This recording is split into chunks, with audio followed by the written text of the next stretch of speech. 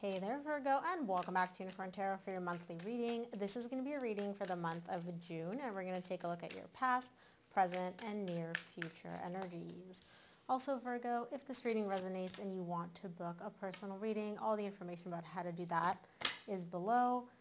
And of course, if you enjoy what I do and you want to say thank you, your girl loves coffee. Any and every amount is greatly appreciated. And lastly, Virgo, if you enjoyed these readings and you want even more free readings, make sure to subscribe to my email list. I send out free extended readings every single Monday, only to my email list subscribers. You cannot get these readings anywhere else. Okay, Virgo, main energy for your reading is the death. Bottom of the deck, you get the Six of Cups. This is definitely a soul connection that you are dealing with. You and this person have a lot of memories. You have a lot of history. But this soul connection, either the entire connection or a certain phase in this connection is coming to an end. And you're the one that's ending it because you're showing me, I recognize that whatever this is, in this soul connection or the soul connection as a whole, no longer serves me. There's no point in me holding on to this. It no longer aligns for me. And we're going to see exactly what this is all about. Um, so like I said, the main energy for your reading is the death. Some of you may be dealing with a Scorpio. I also see Cancer here. Um, and I also see Pisces. Those are the main signs that I'm seeing. Obviously, your person can be any sign. Those are just the main ones. In the recent past, you get the King of Cups, the Six of Pentacles, and the Tower. You have a lot of love for this person. You're showing me, and again, I don't even know if you're aware of what this person feels for you or not, but in the recent past, you're focused on how much you love them. You're showing me, I love them. I love them so, so much. There's so much emotion there. And at some point, there was a lot of equal give and take. Why can't I pick up these cards? There was a lot of equal give and take between you and, and your person. You gave, you received, it like there was a good flow. The energies just worked and they were balanced. Um, and I say were because you're showing me the tower here. That cracked. Something in that cracked. It no longer worked in the recent past. So either you fell out of love with this person, but for the majority of you, I feel like the, the equal give and take that you felt at some point in this connection just wasn't there anymore. In the current situation, you get the Seven of Swords, the High Priestess, and the Knight of Cups. So there's this deep desire for you, right? Like you're hoping that if you just kind of quiet your mind and give love, offer this person love, express how you feel like, really pour love into them, you'll be able to turn things around. Things will get better. This is what you're hoping will happen. Your intuition, or I would even say like your logical side, is kind of telling you, uh, 50-50, right? There's this kind of like back and forth in your energies of yes, this is going to happen. No, it's not. Yes, all I have to do is like keep keep trying, keep trying, and it'll work. Um, I don't know. I don't. I don't. We'll clarify. We'll see. I want to say I don't know if it actually pans out the way you want it to or not, but we'll see. In the near future, you get the Queen of Wands, the Chariot, and the Hanged Man. You feel very, very attractive. You feel very, very magnetic energetically. Like you feel really good with your energy here in the near future. And you're showing me, like, I know what direction I personally want to move in, but you're stuck. We're going to see if this direction has to do within this connection, if this connection, if this um, direction has to do with your own internal self. I'm not 100% sure, but it's like you know where you want to go. You're confident in your ability to make it happen, and you're still stuck. Why? Let's see, let's clarify. We'll take a look at the death, which is the main energy for your reading this month. The death is clarified by the Empress, the Ace of Swords, and the Star. Bottom of the deck, you get the Seven of Wands.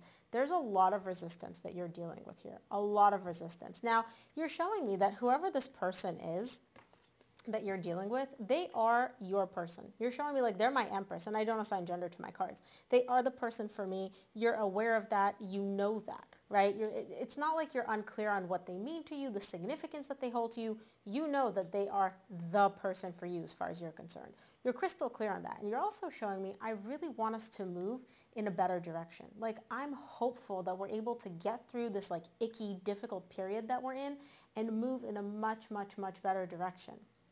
But there's also a part of you, because remember the death is at the bottom, there's also a part of you which recognizes like something in this connection, despite the love that I have for this person, despite my desire to move in a better direction, something in this connection just isn't serving me anymore. It's no longer aligned for me.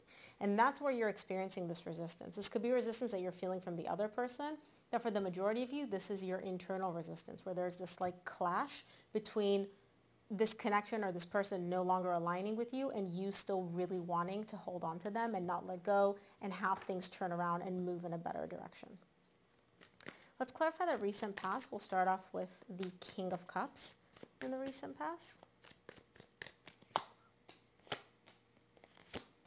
King of Cups is clarified by the Five of Swords, the Chariot, which you get again in the near future, and the Eight of Cups. Bottom of the deck, you get the Queen of Cups. You genuinely not only love this person, right? Like I remember I said at the beginning how much you love them. You know that they love you just as much. So it's not like they, you're unaware of how they feel. But the thing is, um, Virgo, I have to say that you're showing me like a specific direction that you want to move with, move in with them. Why am I so, like I'm trying to talk and communicate and it's like my energy is all over the place. So I don't know if you're just very frazzled or what, but like I'm having a hard time getting the words out. Um, so essentially, you love them and you know which direction you want to move in with them. But there's also a part of you which is very much aware that it might not work out. You're showing me emotional detachment here, emotional disconnect from this desire, from wanting to move in a certain direction with them. There's almost this energy here of you being like, they love me, I love them, they love me, I love them. But part of you is asking yourself, like, do they really? Do they really love me as much as I love them? Do they really feel what I feel for them? And Virgo, you get the Three of Swords. I don't think that they do. I don't, and even if they do, they're not expressing it they're not giving you emotionally, at least in the recent past, what you're giving them. There's an emotional disconnect, an emotional detachment. Let's take a look at the Six of Pentacles in the recent past.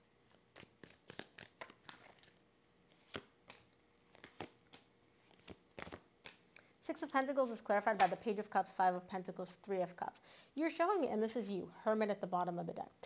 At some point, like I said, there was a very, very good flow. And then that flow slowly diminished. It's literally like you guys went from I give, you, you give, I give, you give, I give, you give, to I give, I give, I give, and I get back. So it's like for every three, four, five units of energy that you give them, you get one back. There's no equal give and take. You feel abandoned, you feel alone. And again, even if this person is still in a connection with you, they're not reciprocating what you're giving them. They're not giving you the same amount of energy. And you're showing me, I just want to get back to that place where we enjoy each other's company, where it's great, where the emotion is there, where there is this equal give and take. It's just not there in the recent past. I don't know what happened, but like this person has literally toned down the amount of effort and energy that they're giving you significantly. Let's take a look at the tower in the recent past. Tower is clarified by the Three of Swords, Queen of Cups, Ace of Cups. Bottom of the deck, you get the strength. It's difficult. It's difficult because this, this flow, this beautiful energy that you and this person had, it cracked. They stopped. And it's heartbreaking to you. And you're showing me, like, I still love them. I still love them and I believe that they still love me just as much, but they're not giving me emotionally what I'm giving them. I'm giving way more emotion to this connection, way, way more energy to this connection. And this person is not reciprocating it. And that is heartbreaking and it is painful and it is difficult for you in the recent past. And you're showing me, I just want to get back to this place of a new beginning in love where again, whether you're together or not doesn't matter, just having a new face, starting over emotionally right? In tarot, there's four different aces, and you're showing me the love one. You want the love that you and this person once shared to come back. Let's take a look at the current situation. I want to see what the Seven of Swords is in the current situation. Seven of Swords is clarified by the Hangman, which you get in the near future, the Death, which is the main energy for your reading, and the Eight of Swords. You're feeling stuck. You're feeling stuck in this energy between wanting to just put an end to it, right? Because you recognize that this person and this connection just no longer really align for you in a very significant way and wanting to have a rebirth. In tarot, the death card is usually just death. In this specific death, in this specific uh, deck, it's the death rebirth. And so you're kind of stuck between some days you're like, I'm just going to end it. Other days you're like, no, no, no, we can, we can like rekindle this. We can have a new beginning. You are really spending a lot of time in your head thinking and analyzing and trying to figure out what do I do? Do I just call it quits and end it? Or do I keep trying to revive this? Because again, at the bottom of the deck, you get the lovers. You love this person. You view them as a soul connection. You view them as the person for you. The empress, the lovers. Like this is not, these are not like small energies, right? And so I can see your desire to really hold on to this person and to really try to make this work. Let's clarify the high priestess in the current situation.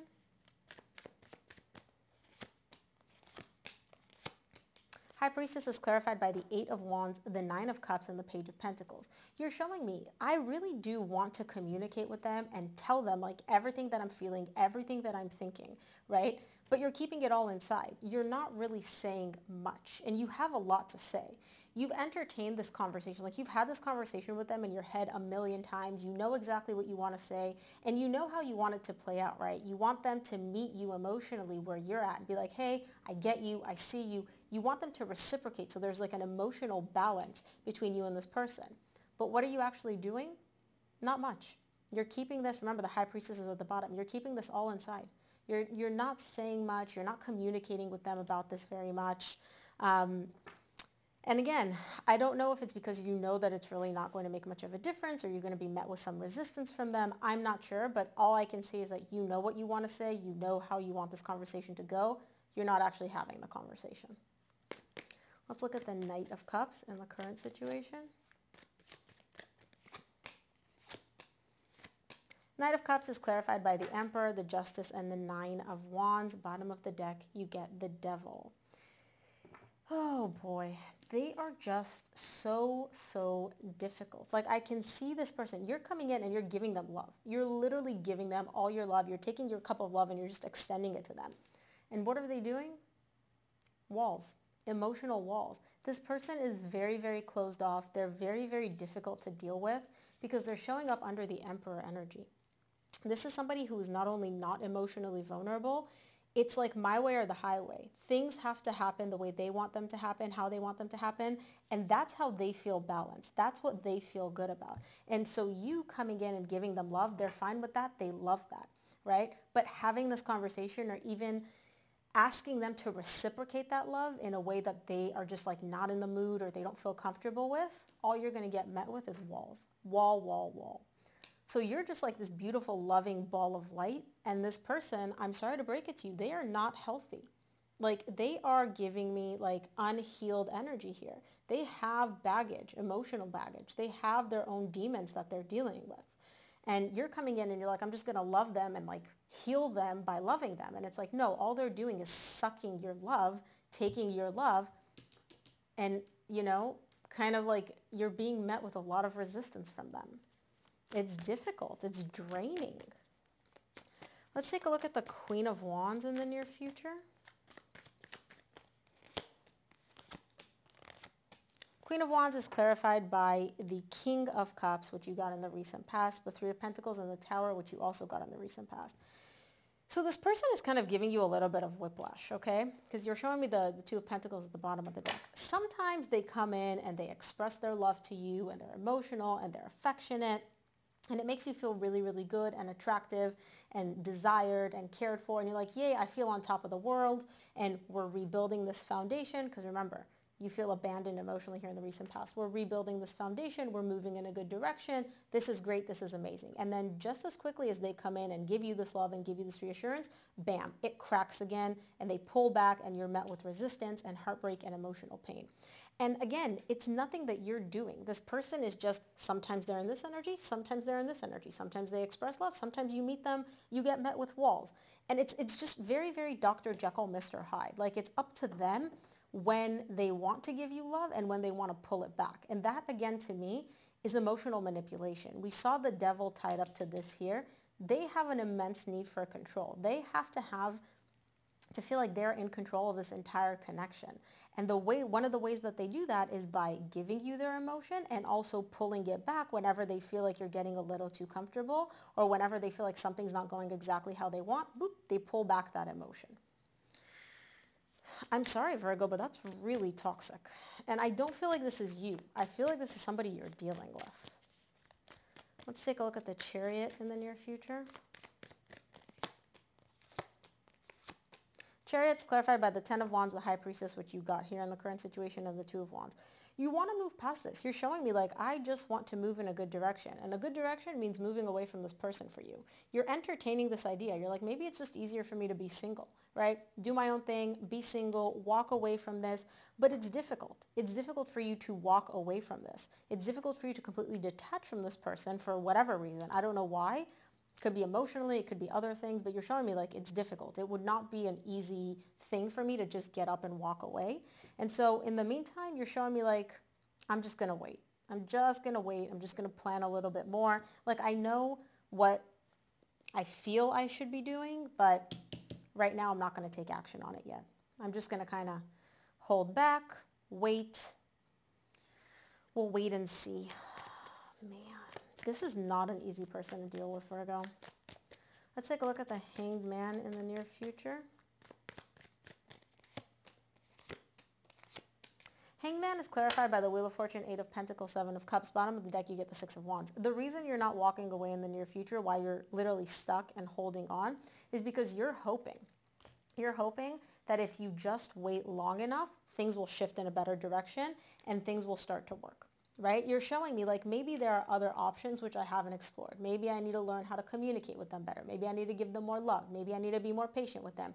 Maybe I need to, you know, whatever fill in the blank that you think you haven't done at this point, you're showing me like if I just wait a little longer, if I just hold on longer, right? Things will suddenly work out. We'll move in a positive direction. Everything will get better. And maybe it will, Virgo. Maybe it won't. But I still don't see you taking any action one way or the other. So I guess we'll find out. Let's take a look at what the universe wants you to keep in mind this month, Virgo. From the universe, you get the Knight of Pentacles, the Four of Wands, and the Star. You're really, and again, bottom of the deck, you get the Devil. Virgo, this person is toxic.